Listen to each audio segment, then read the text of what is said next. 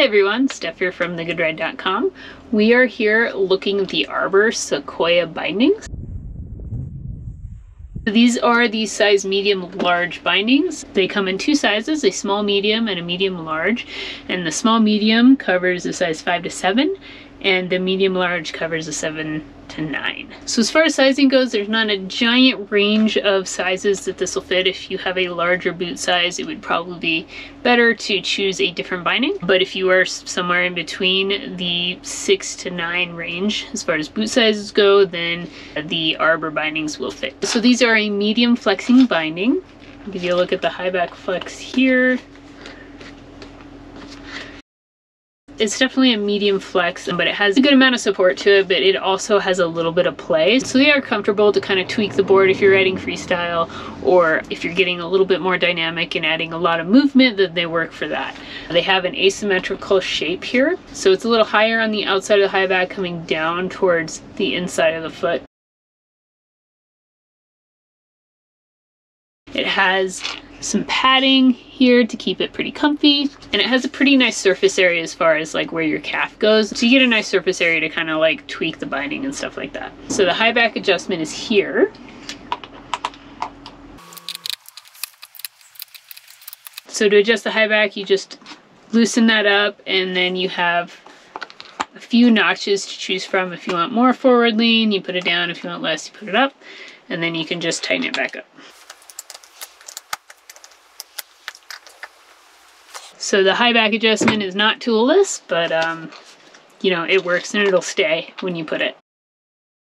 As far as binding straps go, I really like the Arbor binding straps, honestly. They have a nice flex to them. They're kind of rubber material. They feel lightweight and they stay in place really well. Uh, so here's the ankle strap. It's also somewhat asymmetrical, so it's a little bit bigger on the outside of the foot here and a little bit smaller on the inner side of the foot here. Here's a look at the buckle.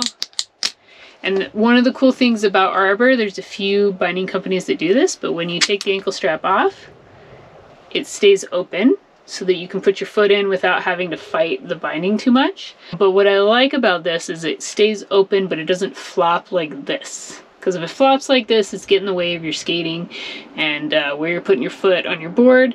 And so I like that it just kind of stays out of the way. You can even go like that and it'll just be ready for your foot to come in. Just look at the ratchet. Pretty, it's not extremely smooth, but it comes on and off well. Pretty big lever so that you can definitely use mittens to put it on and off. And then it has this bigger lever to like release it up here. For the toe strap, it's a similar material, pretty flexible, um, but it conforms nicely to the front or toe of the boot, honestly, and the same thing, as you can see here. Uh, when you take it off, it's going to stay out of your way, and it just kind of like sits to the side there, and then it makes it easy to put it on.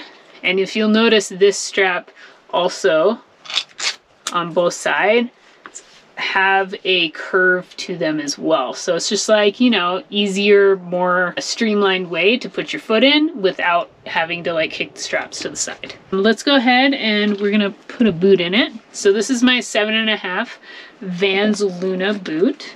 So you can see how it fits here. It's quite a nice fit. The toe strap like once it's on, it's not going anywhere. I like the good surface area here on the outside of the boot and the high back fits quite nicely towards the back of the boot as well. There are toolless adjustments here, so it's pretty easy to adjust the side of the strap. I like these big uh, handles on the screws, so they're harder to lose, but it just gives you some nice amount of torque on there. So right here it has an extra little knob to help keep the ankle strap in place when you're when you're putting it on. Another thing with the toe strap is you can choose the angle if you want the toe strap going over the front of your boot or over the top of the boot. So there's a little adjustment here. You just kind of push it down and move it and pull it back up. And you can change the ankle of the toe strap from going over the top or over the toe. That's right there. And same, same on this side as well, so you can match the angle of the toe straps together.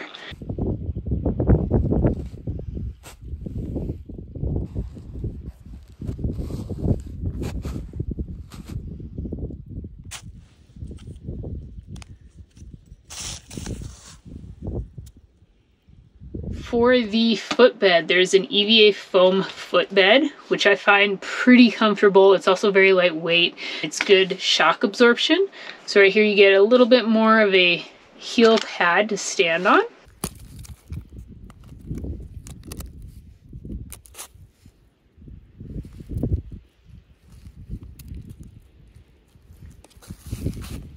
It's just like this layer of foam that sits over the base plate. But as far as shock absorption goes, there's also a layer, a very thin layer of like rubber on the bottom here to help with a little bit more shock absorption as well. So you get two layers, you get the one on the bottom and you get the one on the top. There's a little bit of a toe ramp also, so you can see it. A little bit of a toe ramp also that has a little higher density rubber or foam right here that kind of adds to like that shock absorption as well. As you can see, it's a full-size disc and you get quite the range of adjustments here. So you have the ability to micro adjust as you're putting your angles and your stance width on your board. And then it's also compatible with the Burton channel system as well. So the high backs are not rotatable. So if you use more abrupt angles with your stance, the high back will just stay rotated the way it is. On some bindings, you can actually adjust the angle of the high back to like kind of match your heel edge. And this comes with a five degree pre-rotated high back. So if you have really extreme angles, like you're going over 15, you're going to like 20 degrees, you might get a little bit of calf bite from that. But if you're going anywhere from like zero degrees to like 15 degrees, it should be pretty okay. Definitely zero to 12 should be not a problem at all. You can also adjust the heel cup. So if you want to center your boot along the width of the board, you can just pull this out and you get options to pull it out a little bit more or push it in. So the first screws you have to take out are these here, right on the ankle strap. If you remove both screws on both sides, you'll have three options to adjust the length of the heel cup. The next step is to remove these screws on both sides and you can adjust the high back position as well. So if this is a medium large, if you're size 9 boot, you might want to pull that out. But since my boot is a 7.5, it fit well with my boot size, so I didn't have to change it. Arbor bindings come with what they call a System X, I would say energy transfer, I guess. So when you transfer energy anywhere in the binding, heel to toe, it's designed to kind of put that energy in specific points on the binding that is supposed to be more efficient energy transfer. So as you shift your balance and your weight towards different areas of the bindings, the binding is designed to kind of push it towards one of these zones and it's supposed to be a little bit more effective and efficient energy transfer between turns. I did find the Sequoia bindings pretty responsive and I think it's a mix of the ankle strap just fitting really well, the binding and the footbed fitting really well. I'm sure the X system had something to do with it as well. So overall, who are the Arbor Sequoia bindings good for? These are a little bit more of the higher end binding from Arbor. They have it as advanced to expert, but honestly, I think if you're an intermediate and above, they're friendly enough for that. They have some good support. They're more of an all mountain specific type binding, but they do have enough playfulness to allow for some freedom of movement. And so if you're just looking for a responsive binding to take all mountain, to take in the free ride realm, or if you want a more responsive binding to take into the park, they also work for that. They have a medium flex, but they're also kind of butterable. You know, they have a little bit of give to them, and uh, they're pretty lightweight as well.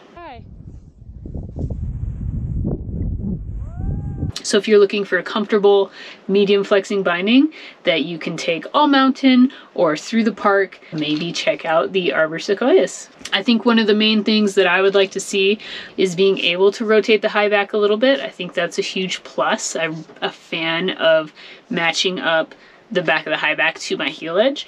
A toolless high back adjustment would be cool, but you know what? Once you adjust it and it's in place, you're good to go anyway, so that's cool. A binding with a lot of cool features. I love the straps that kind of like move out of the way but don't get in your way of skating at all. I like the dampness of the binding and I also like that they're pretty lightweight and comfortable. So that's a look at the Sequoia bindings from Arbor. If you're looking for the full write-up and review, head over to thegoodride.com to check it out.